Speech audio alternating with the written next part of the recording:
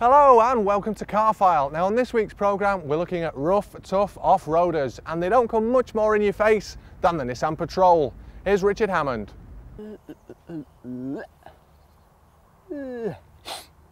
Perfect. Well, we can't all be Crocodile Dundee types, but if you feel you need to up your butch quota, then try this. Grr. It's the Nissan Patrol, and in parts of the world where both the terrain and people can get seriously roughy-tufty, it's seen as being one of the best full-size luxury off-roaders. Which on our country roads can lead to a bit of a problem, because they're quite narrow. Ah, um, ah, I just, uh, hello?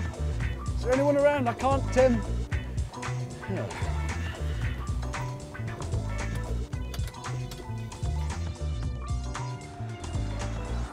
It doesn't make any attempt to hide the fact that it is massive. Seriously, you might as well get up in the morning, wander downstairs to the kitchen, put the kettle on, and start the house and pull away on the school run with the kids still in bed. It is that big.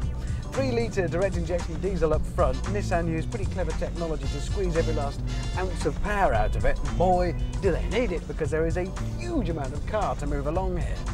You're very much aware of the unsprung weight, the weight of the wheels and the suspension and the brakes, all the bits that are after the suspension springs, which makes it feel rather ponderous.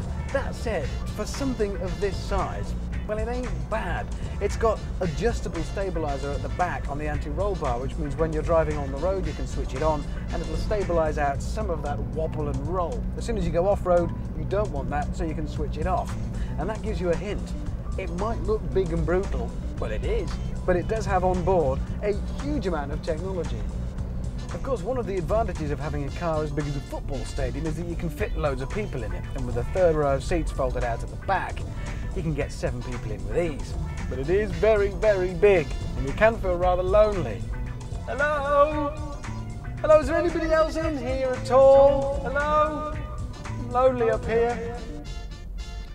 At last, this is what I've been waiting for all day, my chance to put this thing through its test out here in the real world. Now, come on! Oh my God, this is, this is so boring.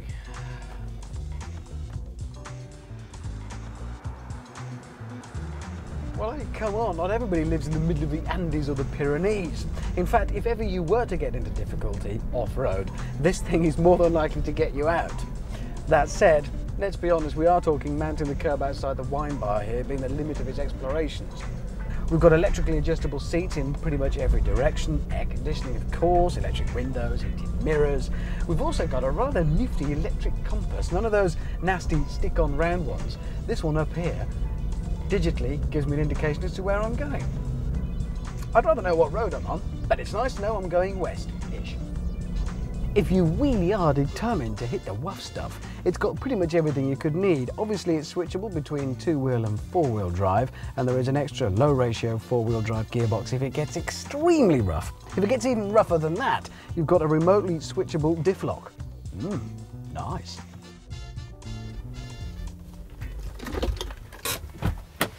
Now let's be honest, I don't suppose anybody ever bought one of these by accident.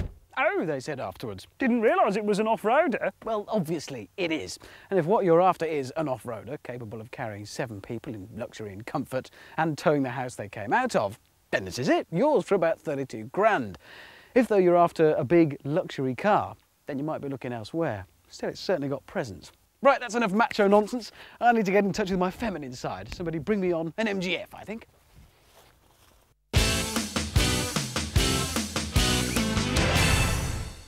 Well next up it's a head-to-head -head battle between Korea and Europe as we pitch the Freelander against the Hyundai Santa Fe. Now not too long ago the only positive feature about buying a Korean car was the price tag but in more recent years all that's changed. Indeed Hyundai's own coupe has gone down an absolute storm in this country and they hope to continue that success with this, the new Santa Fe. The Santa Fe marks Hyundai's attack on the popular sports utility vehicle market putting it head to head with the likes of the Land Rover Freelander and Toyota's RAV4. And what else could we compare Hyundai's new Santa Fe with but Europe's best-selling small off-roader, the Land Rover Freelander. Looks play an important part in this sector, owners are usually more concerned with looks than outright off-road ability. The sales of this car suggest that in the looks department, Land Rover must be doing it right with the Freelander. Despite criticism at launch that the front end looked like a boat, revisions to the car last year were limited to a redesigned front bumper, clear front indicator lenses and an enlarged lower air intake. The Santa Fe was designed by Hyundai's Los Angeles design facility. Hyundai claimed this was to ensure the car is suitable for Western markets.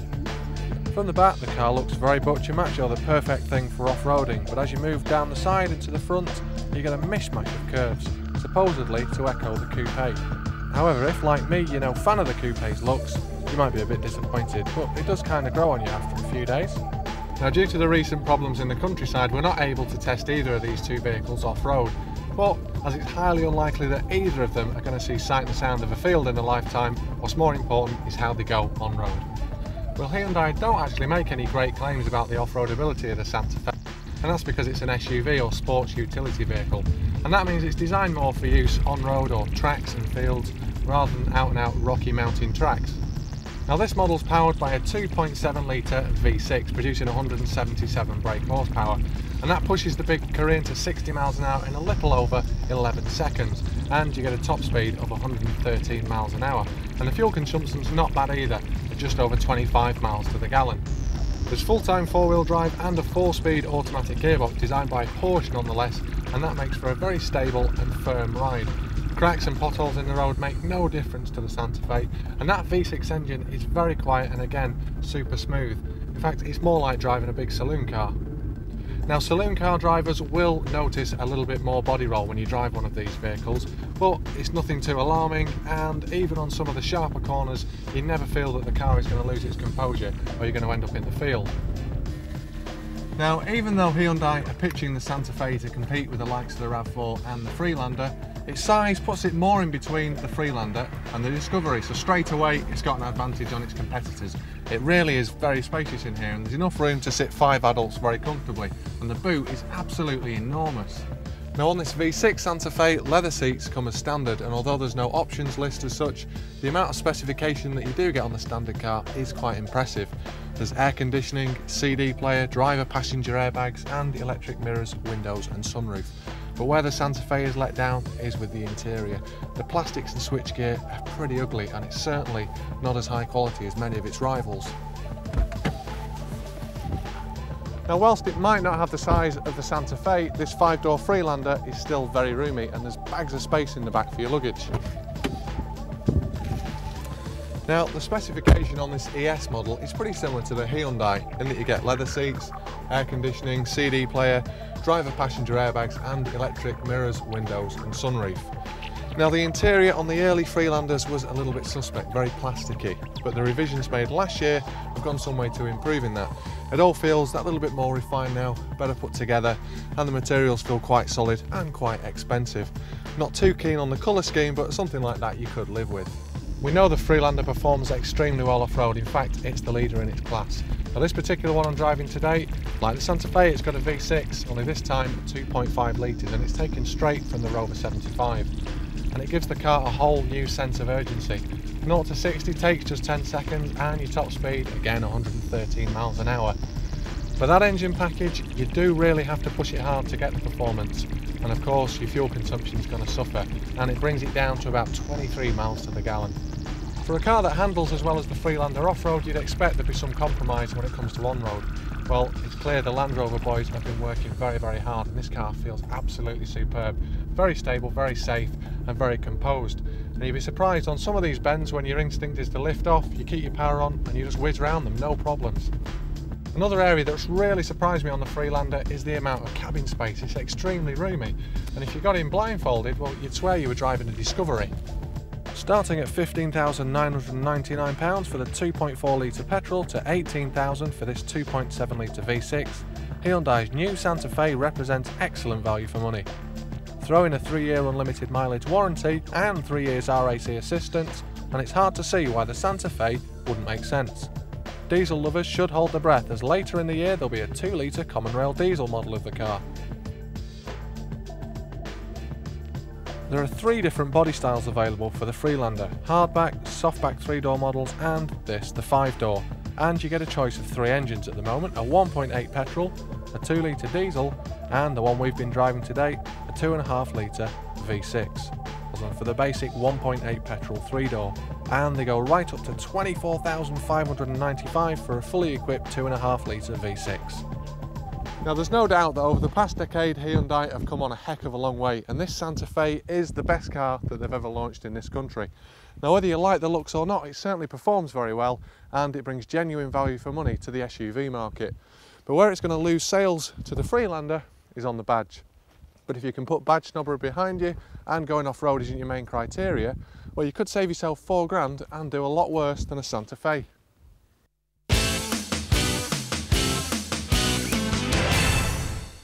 Well, that's it for part one, but after the break, we see if the Land Rover Discovery is a good alternative to the luxury Audi A6. We'll see you soon.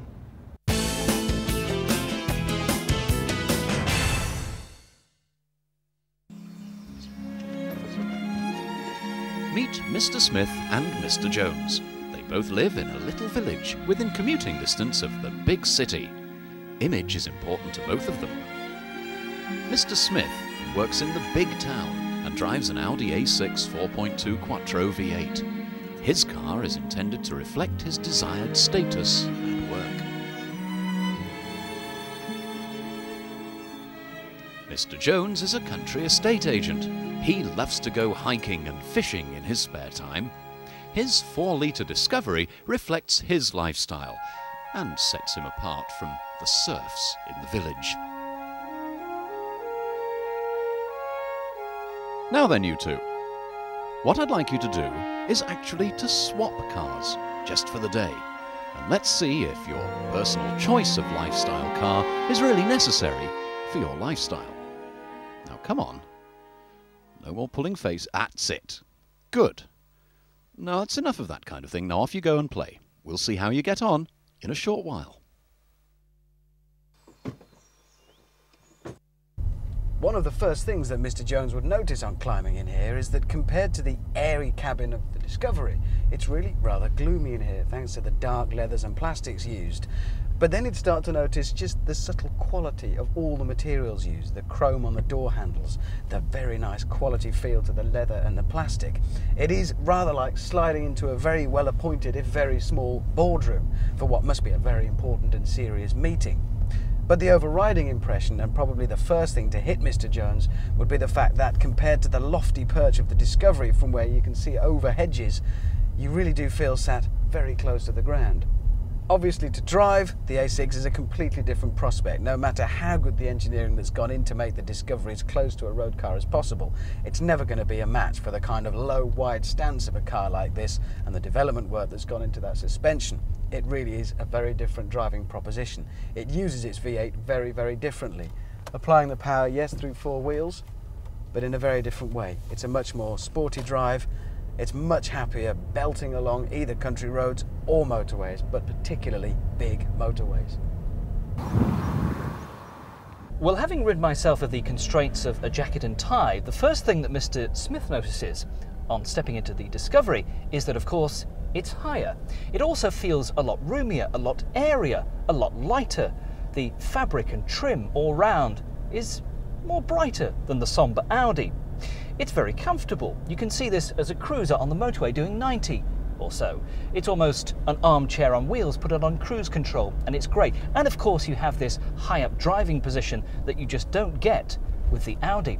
Performance wise, it's not bad. It can nip quite easily through this 5 speed gearbox. Uh, handling, though, is another matter. Try and push this hard down country lanes like the Audi, and you may come unstuck.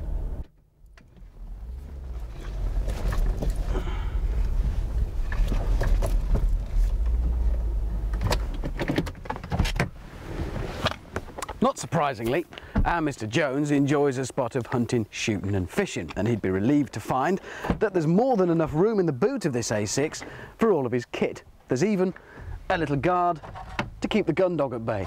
But here's a bit of a worry. The first time Mr. Jones returns with a muddy set of waders and an old wax jacket from a day's fishing, well, this boot is not going to look quite as pristine as it does now. It is, if anything, a little bit posh, and perhaps it's a bit too posh for Mr. Jones's purposes.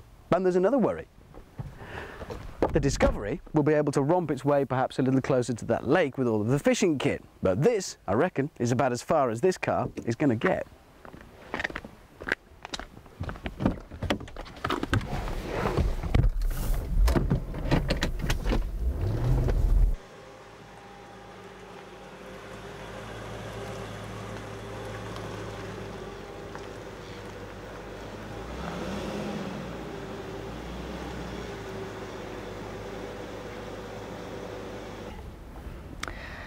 I do hope that Mr. Jones is looking after my Audi, not getting it too dirty. Now, as you can see, the Discovery is still a very big car. It's actually not quite as long as the A6 Avant, which is interesting, but it's wider and it takes a fair bit of manoeuvring to get it in and out of tight car parking spaces like this. But once you get it in, well, have a look at the rear space. Smart. Two individual child seats. They're smart as well.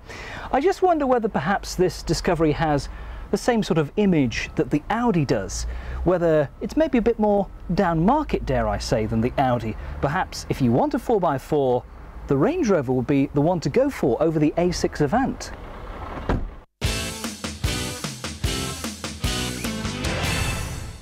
Whoa! I think one thing Mr. Jones would definitely enjoy is accelerating from 0 to 60 miles an hour in 7.1 seconds, which in a car this size is pretty impressive, even though it is nowhere near as big as the Discovery.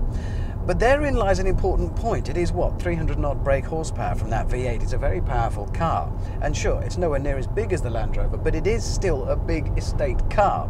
And there are some moments on country lanes when perhaps all that extra power and extra speed is more likely to get you into trouble than you would do in the Land Rover. You're going to be going faster than this on occasions, and there are moments when I certainly wouldn't like to meet a tractor coming the other way. Having said all of that, it is still a very enjoyable thing to drive, and I think Mr. Jones would rather enjoy that extra turn of speed and that ability to go just that little bit faster. After all, who doesn't enjoy a bit of extra speed?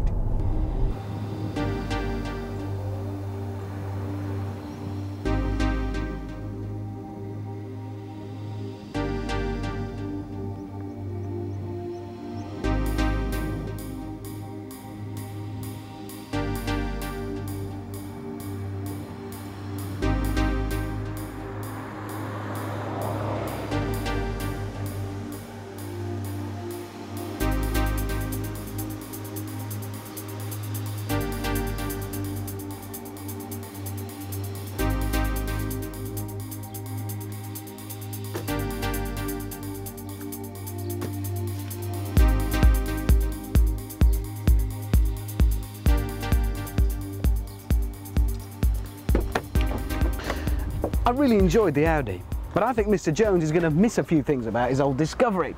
For a start, you're not going to be worried about getting the thing mucky, and there are definite advantages to that high-up driving position in this lofty, airy cabin. And then there's a proper off-road four-wheel drive system with a high and low ratio gearbox and with a clever descent gizmo to help you get down really steep hills. And there's no need to sacrifice any of life's little comforts either. Mr. Jones is quite accustomed to his electric seats, to his electric mirrors and his electric sunroof. Now, as much as I like the Discovery, it's great to get back to the solid feel of the Audi, where quality is absolutely paramount. Superb quality finishes too, and plastics that are just excellent. You also get clever storage ideas, like these two bins in the doors. You get electric seats with lumbar support that adjusts to your back, plus Tiptronic gearbox that adapts to your driving style, and of course you can change gear manually should you wish to, plus climate control, with individual controls for both the driver and front seat passenger. Well, it may not be quite as elegantly installed, but there are individual controls for front seat passenger and driver on the automatic air conditioning in the Discovery. And then for rear seat passengers, well, useful gizmos include an incredibly nifty mechanism for when there are only two passengers, getting rid of the rear centre headrest and providing a useful armrest, complete with rather vicious looking cup holders. Wouldn't want to get caught up in those. Then when you are on a long journey, there's plenty of places to accumulate all that gubbins that you take with you. For instance, we have pouches in the rear of the front seats and these useful overhead cargo nets. Now, although you don't get the high-up seating position of the Discovery in the Audi, obviously, back here is a very civilised place. After all, who needs to look over hedges when you can relax back here with a centre armrest, absolutely perfect, which also has a centre storage area, two individual cup holders as well for rear seat passengers. It's just a civilised place to spend a few hours on a long journey. And there are some clever touches back here. And it's also back here that quality is absolutely paramount, along with some very clever touches. For instance, quality carpet that wouldn't look out of place in some people's living room. Heaven forbid putting a pair of muddy wellies on there or boots. Also chrome handles and chrome hooks for keeping luggage safe. A damped 12 volt adapter socket there. And it's not just the Discovery that can come with seven seats because the A6 Avant can have an optional set of rear facing child seats, which makes a grand total of seven people to carry. Well, it may not quite so closely resemble the luxurious business departures lounge at a comfortable airport, but it is nevertheless pretty pleasant in here in a gentleman's club sort of way, and it is after all an off-roader. Now there's accommodation back here for another two people, and it's extremely clever. When you don't need it, it stows away thus with the headrest folding up into the roof and the rear seat folding sideways into the boot space itself. When they are in sight, then the rear seat passengers have luxurious little touches like their own individual cup holders and tray down by the side, and even control for each person over the CD player. And I call that rather clever thinking. So there we are. Mr. Smith and Mr. Jones can both be assured that they have cars which are certainly built to last, despite a £10,000 or so price difference. The question is, would they ever agree on which to buy?